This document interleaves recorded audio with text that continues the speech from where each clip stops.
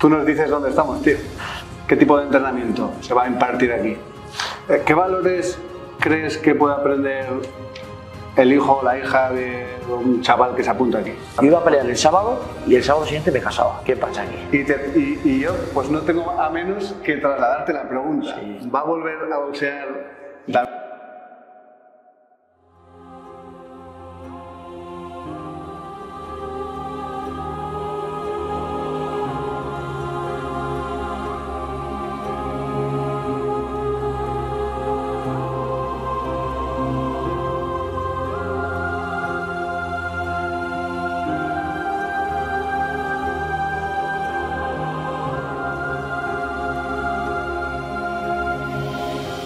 ¿Qué tal equipo? Muy buenas. 965 días después de que Infierno me abriese las puertas de su casa, Mira, volvemos a estar con él. Tú nos dices dónde estamos, tío. en el puto infierno estamos. Estamos en el infierno, ¿eh? Puto infierno. Además, esto tiene bastante aspecto de infierno. El infierno más o menos se lo imagino así, ¿eh? Bueno, estamos en el club de, en el futuro club de boxeo Infernum. Eso es. ¿Qué, qué, qué sientes cuando entras aquí? Buah. Desde que empiezo aquí a tirar pladur a, a lo que estoy viendo ya hoy, que empiezo a ver la luz con el suelo montado, todo pintadico, y lo que queda, pues, como un puto hijo, que va viendo crecer día a día, Va cogiendo forma va cogiendo forma. y esto va a ser un club de boxeo donde la gente va a poder venir a aprender a boxear, Eso es. a hacer El ejercicio. boxeo, eso es. ¿Qué tipo de entrenamiento se va a impartir aquí? Pues entrenamiento de todo tipo, desde primer nivel, de, luego eh, boxeo avanzado, boxeo iniciación para gente que quiere empezar, boxeo avanzado para gente que lleva un tiempo, boxeo competición, boxeo infantil, una actividad nueva que le vamos a llamar inbox, que es tipo un poco eh, fitboxing, mezclar entrenamiento funcional con entrenamiento de boxeo. ¿Cuál sería, la- has dicho entrenamiento infantil, cuál sería la edad mínima que la gente puede venir aquí? Cinco años. Con cinco años para adelante. Mi hija tiene cuatro y va a venir, o sea, Sí, ¿no? te voy a morir ahí al palo. Eh, va a venir gente con vistas a competir, en, a hacer peleas más adelante. Bueno, al final esto es meterte en el ajo. Empiezas a entrenar y yo tampoco entré al gimnasio pensando en que quería ser boxeador. Yo entré por entrenar porque me llamaba mucho la atención y empiezas a meterte un poco en el ajo. Y, oye, ¿y si hago un interclub, hostia. Y si hago una veladica, hostia. Y si ahora una pelea más importante y otra y otra y vente boxeo profesional y lo que quiera la gente. Yo tampoco me quiero centrar en eso. Al final digo que no voy a inventar la pólvora ni voy a inventar nada nuevo, pero me doy cuenta que llevo ya unos años dando clases en algún lado y quiero que era un buen equipo, tío. Un buen ambiente. Donde vengas aquí a entrenar y estés a gusto, que estés como en tu casa. Estés a gusto con los compis, a gusto con el entrenador y disfrutes y desconectes, que es lo que nos hace un poco falta. Una horica o dos al día que vengas y, oye, apagues el botón y salgas un poco la rutina de, Hay que del día a día. Yo solo he dado una clase, pero Sí. a mí me moló, cansa bastante. Y sí que es verdad que mientras- como tienes que estar a tantas cosas, no te da tiempo tampoco a pensar en tus movidas de por obligación. Yo creo que es la magia que tiene el boxeo. Me he dado cuenta, cuando entrenaba ya me daba cuenta, que yo siempre decía, joder, me meto al gimnasio, paro el robot, salgo y en la puerta están todos los putos problemas esperándome ahí a morderme. Esperando. Pero ese rato, tío, apagas. Y me doy cuenta que la gente se engancha por eso. Porque bien estás, que si la- ¿qué combinación era? Que si la mano, el tobillo, la cadera, que voy a mejorar un poco al día anterior, que si le pongo las manos al compi. Y es un off brutal. Sales y milagros tampoco hago, ¿eh? Pero el rato ese, la verdad que desconectas. Eh, ¿Qué valores crees que puede aprender el hijo o la hija de un chaval que se apunta aquí? En cuanto al respeto, seguro. Respeto asegurado. Porque en un gimnasio de boxeo, seas un niño que estés empezando, que no sepas todavía cómo funciona el mundo, o seas un tío que viene a comerse el mundo, entras y es que el más tonto te pone a bailar aquí. Igual ves a un chavalico que lleva tres años entrenando, con las gaficas, tranquilo, con pinta de inofensivo, y te cogita un palizón. Él te enseña el respeto asegurado. A mí el boxeo me ha enseñado todo, siempre lo he dicho, todos los valores que tengo, me ha enseñado el boxeo. Está, está bonito, está bonito. Está bonito. ¿Fecha de apertura tenemos? el, la primera semana de octubre, o sea, estamos en la penúltima, la semana que viene es la última de septiembre, La siguiente que arrancamos octubre ya estaremos aquí entrenando. Ya estaremos con la gente que tengo de otros locales donde estoy dando clases. Eh, tenemos un equipo grande y vamos a empezar aquí porque es que no entramos.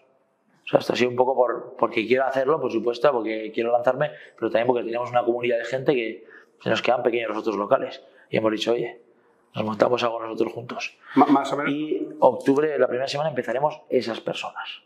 Que quiere empezar la gente a venir, ya puede venir a, asomarse, a ver cómo funciona esto. Puede venir a probar. Ya, puede, empezar, sí, ya puede venir a probar, sí. Ya puede venir a probar un poco, a ver cómo funciona el rollo. Sí.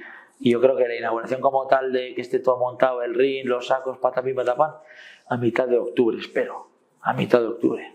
¿Qué, material necesita la gente? Unos guantes, unas vendas y un bucal es la base. Pero el bucal, para cuando empiezas a hacer sparring, tardas. Vendas y es lo primero que te, te va a engañar, te voy a vender. Porque venderlo, te voy a decir que te compres. Porque, porque las vendas son necesarias para la muñeca. Pero los guantes, tengo yo un montón de guantes Aquí viene mucha gente que viene en bragas, para que me entiendas. Pantalón de deporte, camiseta, la mochila para cambiarse y ya está. Y actitud y ganas de hacerlo. Está. está... Yo, yo, siempre lo he dicho y lo dije la otra vez que hicimos el vídeo. Yo os digo de verdad y, no miento. Yo, si viviese en Pamplona, te digo de verdad que creo. Luego, luego que preparado, tú eres un tío que me da muchas sorpresas a mí. Pero yo te voy a dar luego una. Tengo preparado una cosita que vamos a hacer que te va a gustar mucho. La primera sorpresa. Que te va a gustar mucho.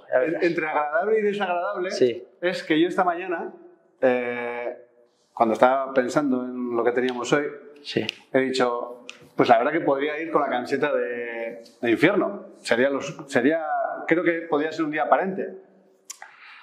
Pero no sé, dada mi fidelidad a la camiseta que buscas, que es mi, el primer patrocinador que, que tuve, he recordado que estaba esta camiseta en en el, en el roster y, y, ¡pum! Y ahora te veo a ti con la camiseta de las frutas y me siento un poco mal. hecho al guiño, colega.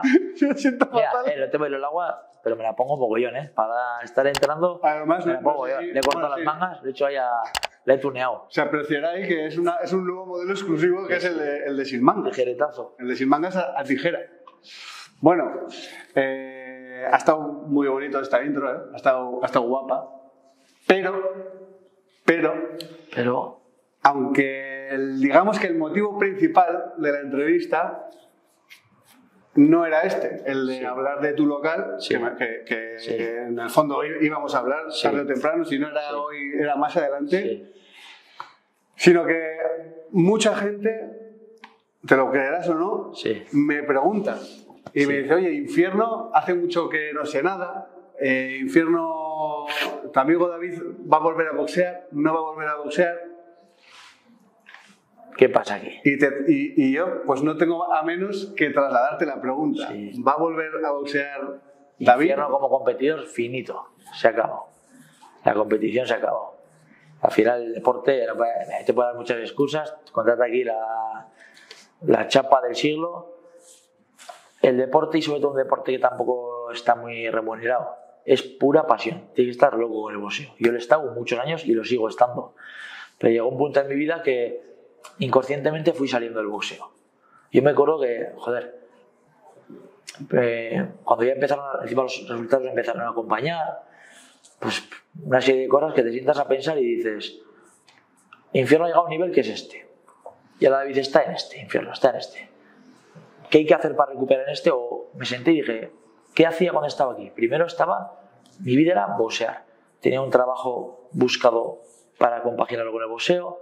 Me igual que me saliera un trabajo de más dinero. Si, si me daba permiso para media jornadica y poder entrenar, de lujo.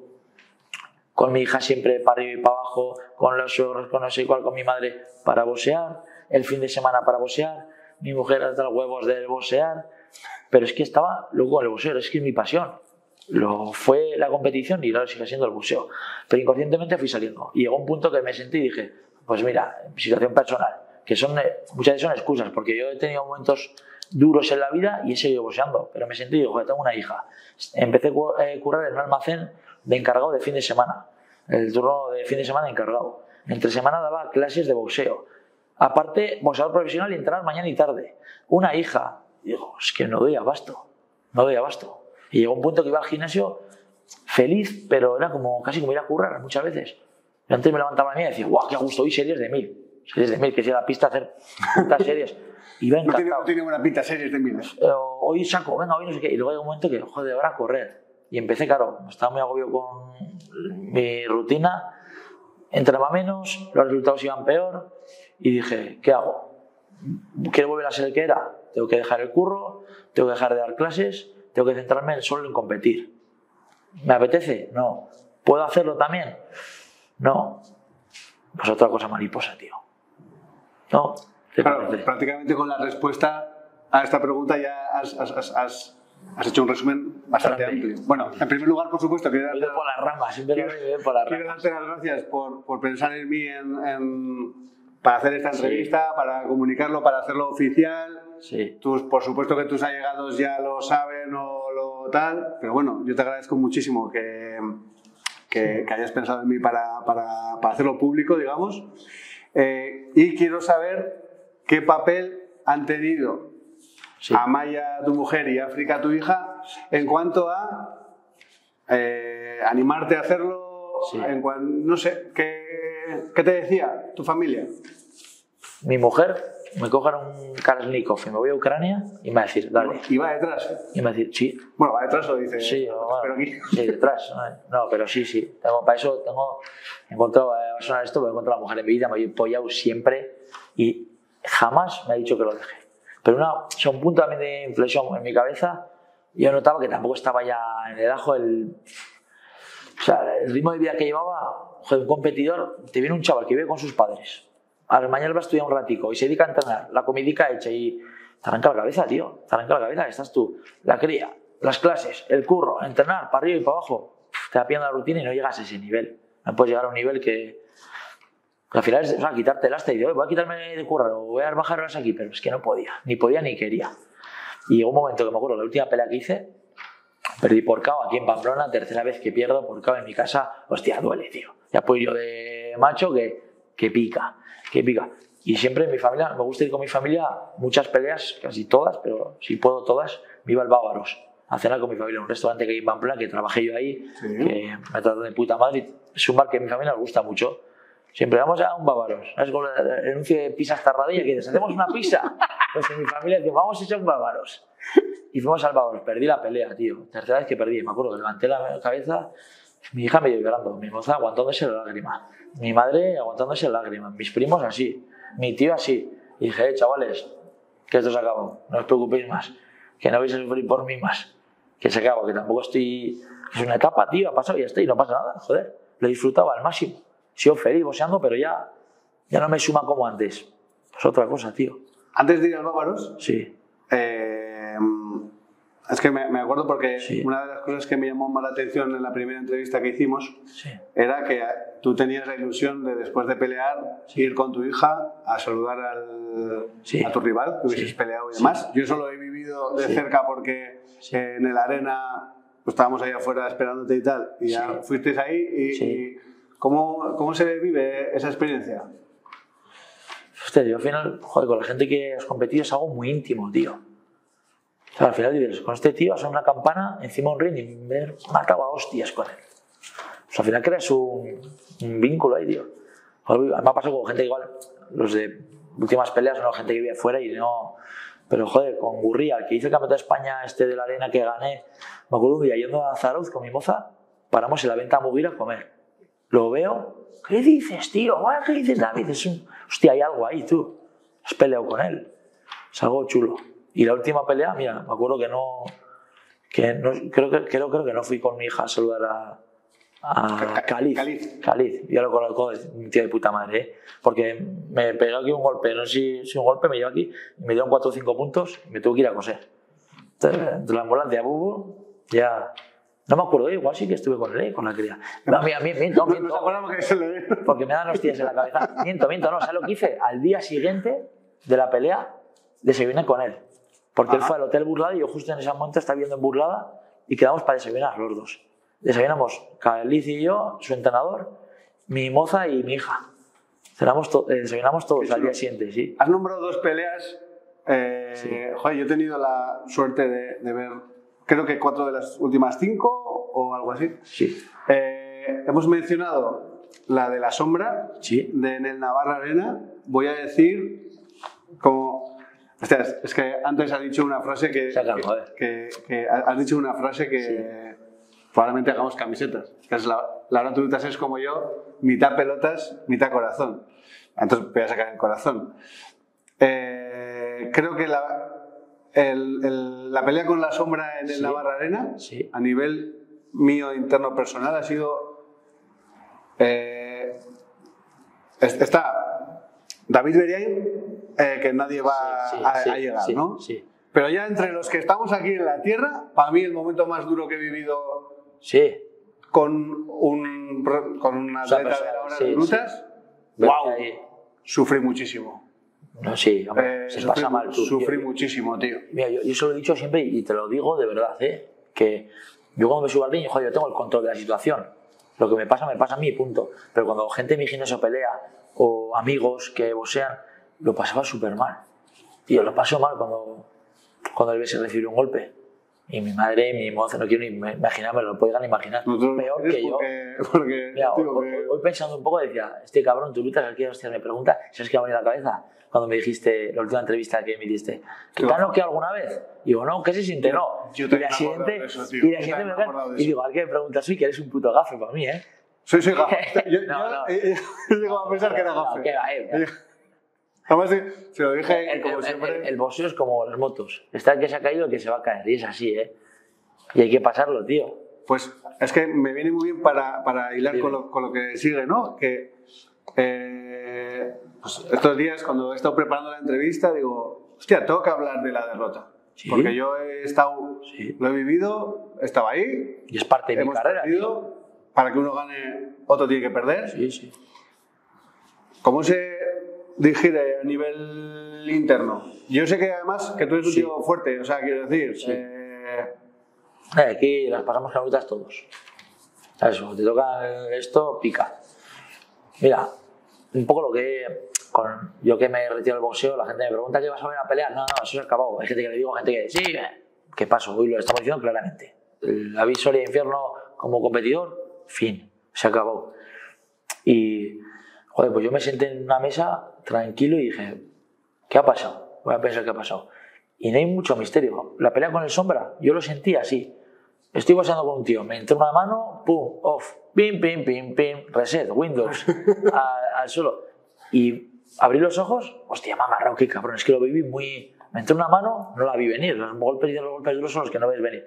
Pum, me caí al suelo, me noqueo, tío, pues más, más agarrado. Hace un, un año antes había no agarrado ya a un tío, es que, es que es así, es que es boxeo, tío. Y no me, no- de verdad que psicológicamente no me, no me jodió. Dije, oye, hay que mejorar. Igual hay que subir más las manos o hay que hacer otro tipo de...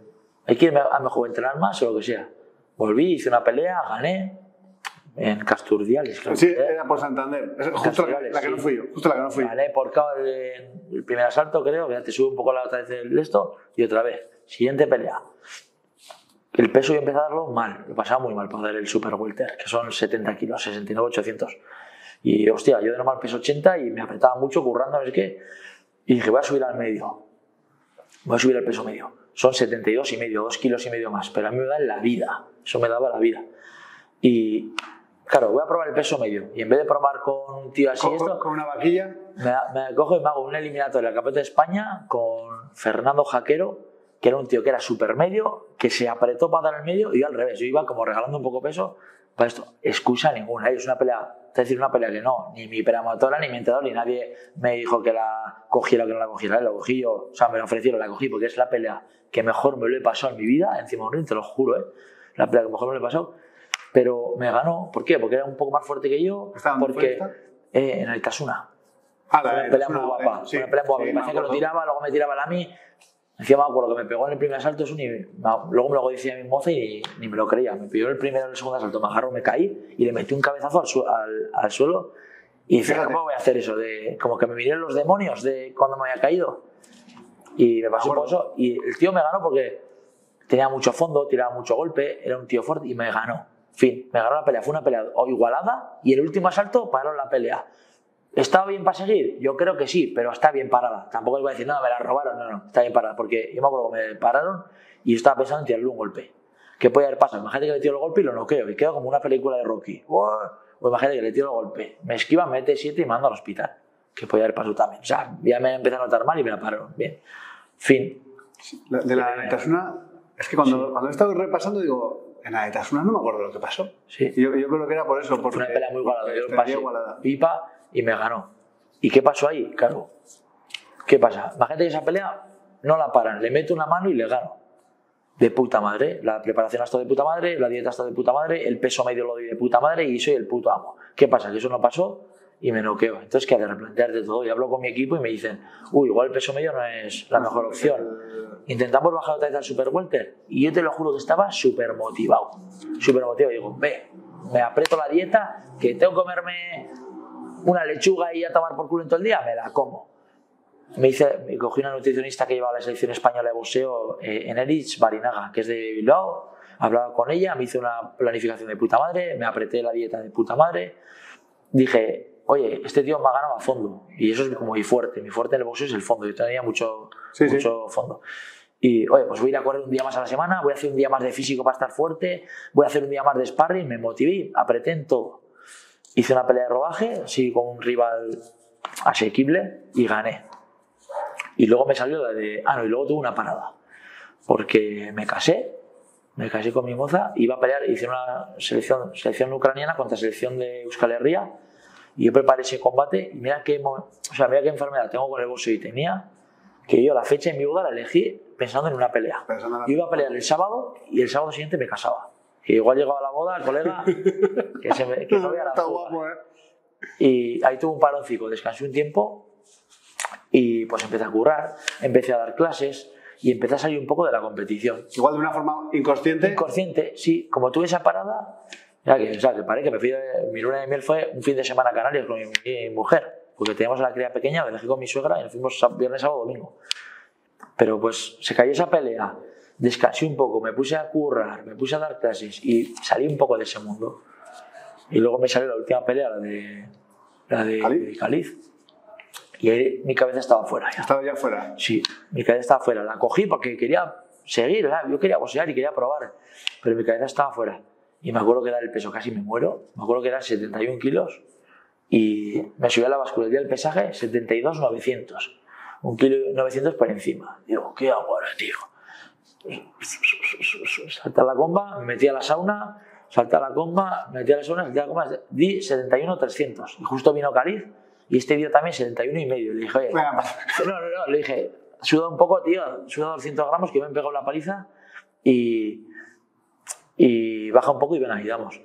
Pero no sé si, yo qué sé, hay gente que me dice, igual te has quedado de los golpes, te has ido ablandando. Otros me dicen, igual no recupero bien porque tenías anemia que muchos boxeadores tienen por esto. Yo creo que estaba mi cabeza ya fuera. Ya no estaba enfermo con esto, no estaba al 100%, estaba al 90% y no Sí, vale. Que además, no sé, en otros No deportes vale. me imagino que sea parecido, pero en el boxeo o estás al 100-100 Y no vale. o Y, no. y- o no- y- y también te lo digo, o sea, y te, te puedo decir, excusas, ¿no? El peso, ¿no? La báscula, me gusta. excusas por buscar mil. Lo digo mirando a cámara. Y como, Khalid me ganó, un tío de puta madre, preparó una pelea de puta madre, me ganó y no quiero excusa ninguna, ¿eh? El tío vino, vino a mi casa a pelear conmigo y me ganó.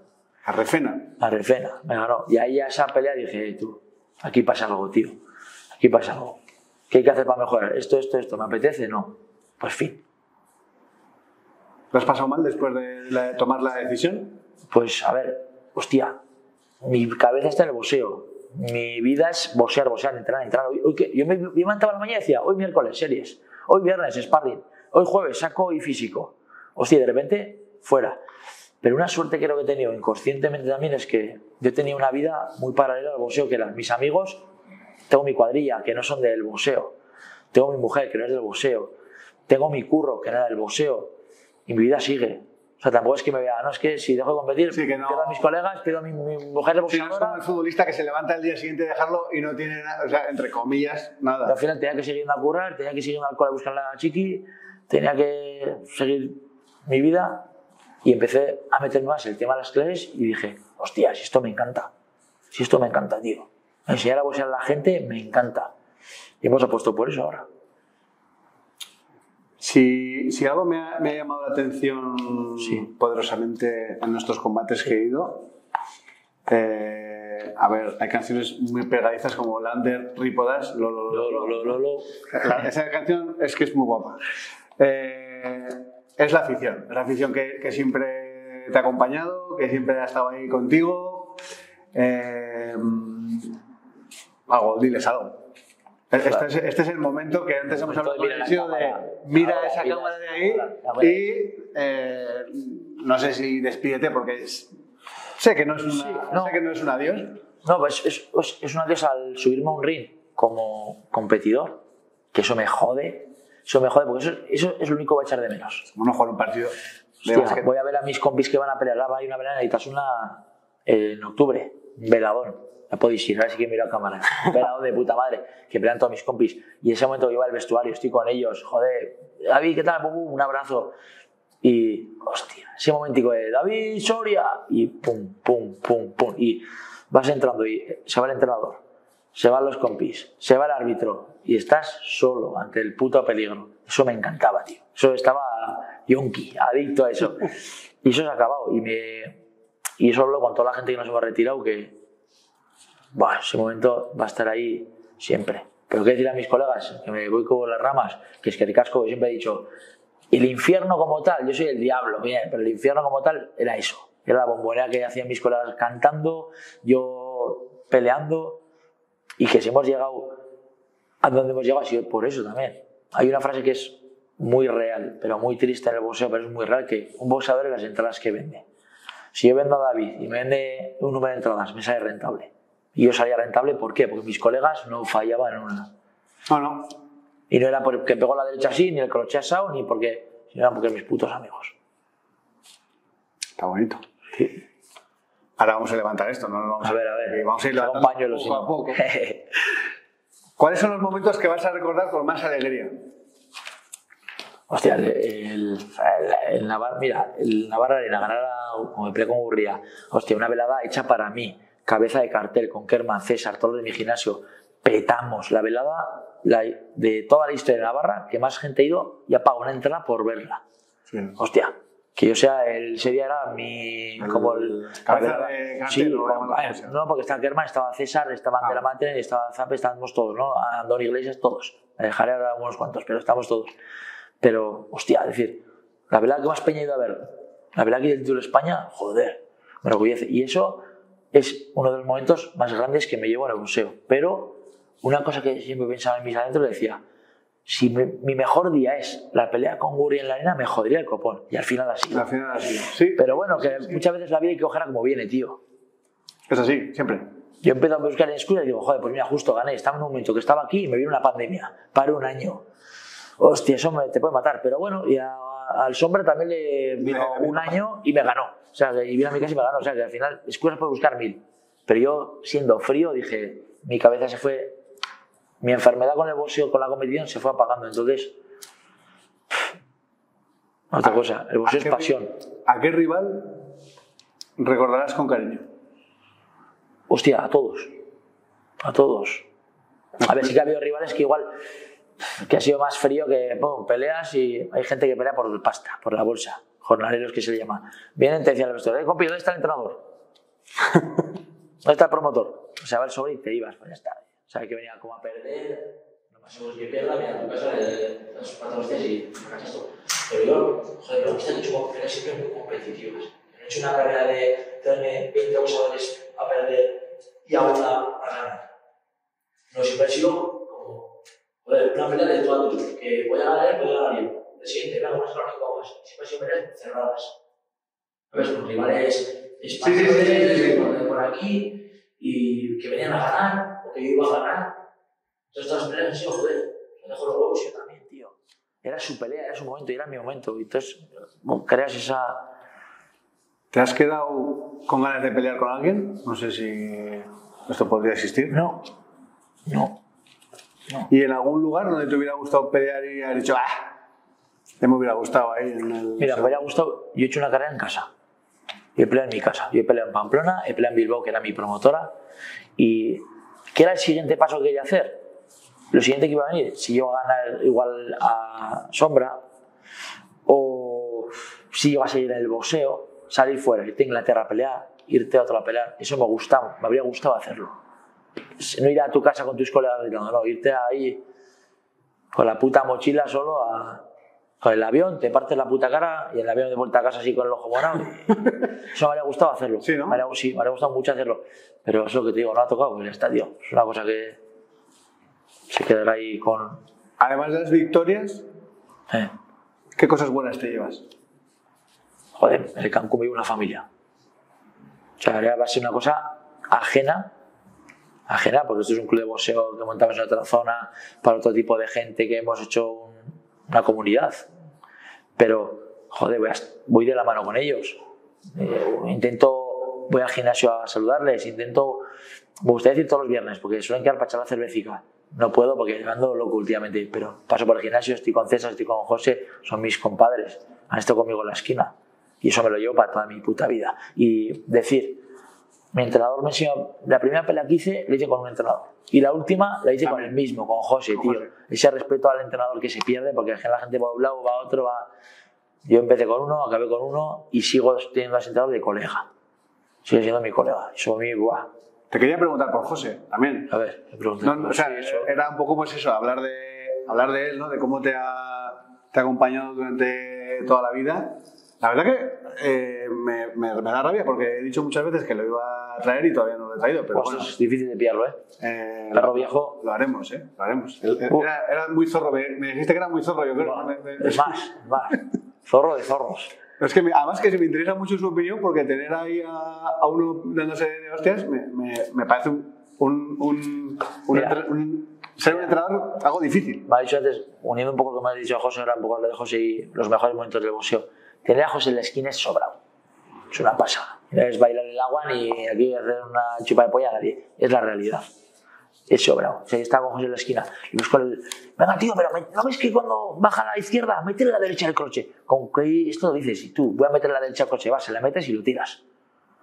Dices, que- Hostia, sea, ese momento es único tú. Estar con la esquina muerto, que no puedes más, y el otro venga animándote. Joder, eso me lo llevo toda la vida. Mira, tengo una foto, que es mi foto del boxeo, que es la foto que más me gusta, que la tengo en, la tengo en todos los sitios que estoy dando clases. La he tenido y aquí en el Club de Boxeo Inferno la voy a tener. Que salgo de así en la escuela reventado, que parece la de Snatch, Cerdos y Diamantes de la película. No sé si la has visto. Que sale Brad Pitt, que hace como el boxeador gitano que sale con el cigarro. Ajá. Pues salgo así reventado con José, con Carlos Ceballos, que tiene aquí al lado el gimnasio El Doyo, y con César Núñez, que ha sido mi esquina, que son mis putos, mi Hermano. puta familia del boxeo, los tres ahí dándome indicaciones y yo ahí reventado, y esa foto es para mí top. Y no es una foto pegando un golpe guapísima, ni, pero es Bueno saberlo, bueno saberlo. foto esto y ha estado conmigo en mi casa, en todos los hago clases y va a estar aquí. Quiero, para terminar, quiero mirar al futuro. A ver. Quiero que me digas qué boxeadores Ah. podrían ser el futuro Infierno Soria. Inferno Ah, Soria, o sea. Inferno Soria ninguno, cada uno hace su carrera, hace lo que puede y ninguno es más ni ninguno es menos, tío.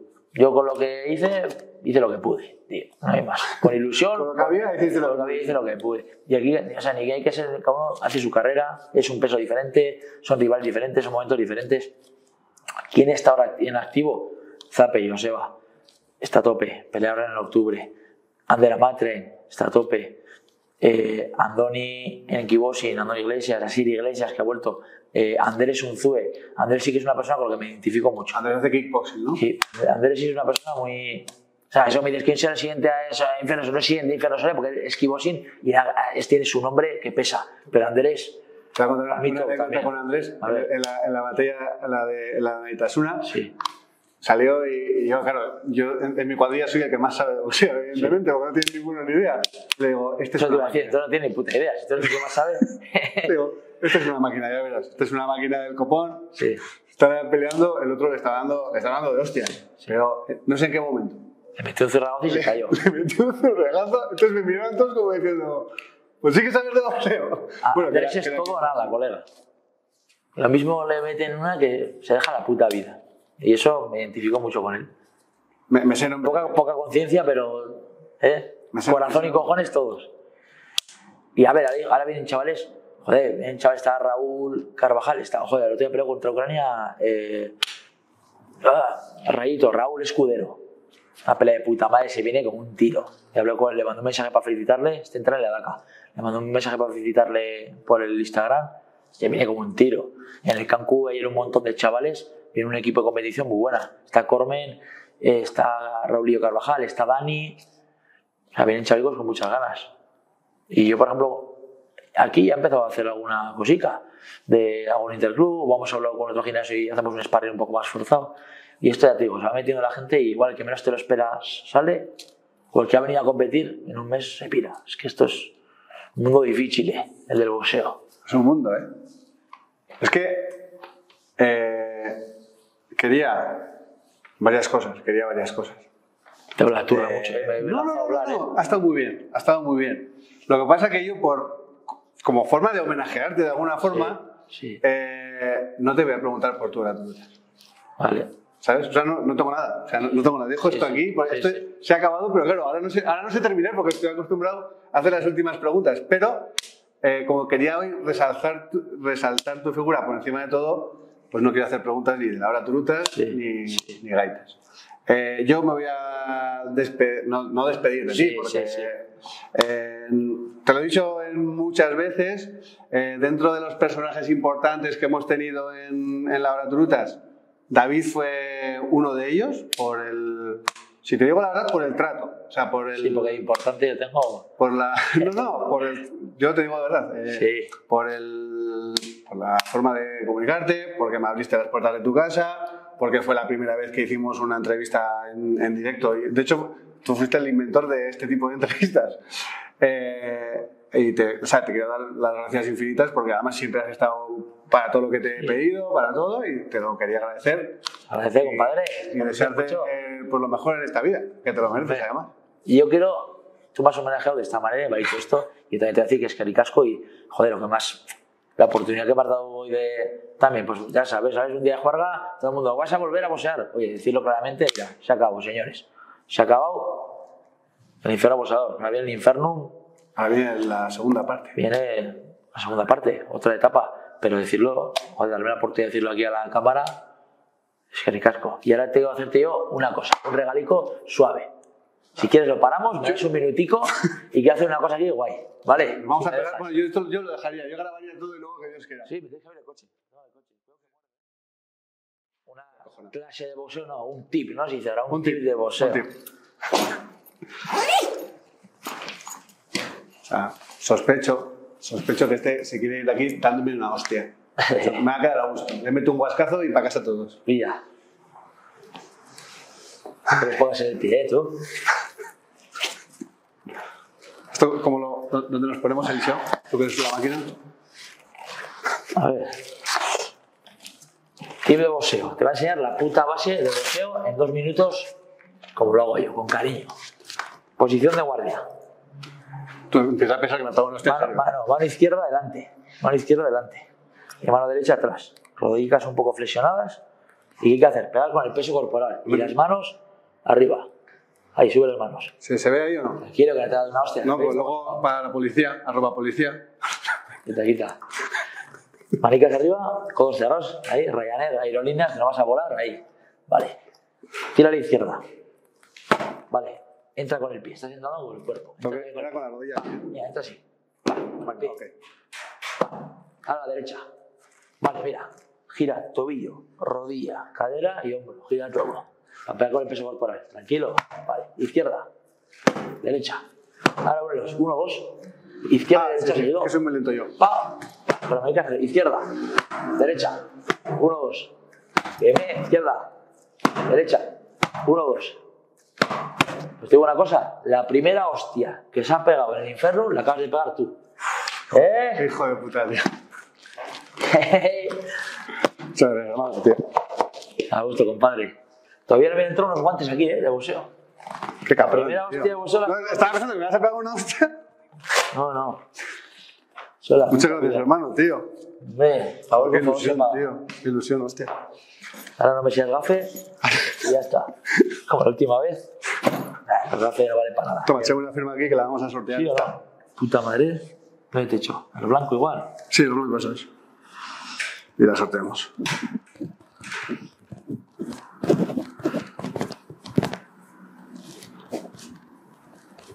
Una escalabrilla pirata. Hmm. Somos un poquito piratas. A ver, hermano. A ver, preguntas. Qué a gusto. Qué cabrón.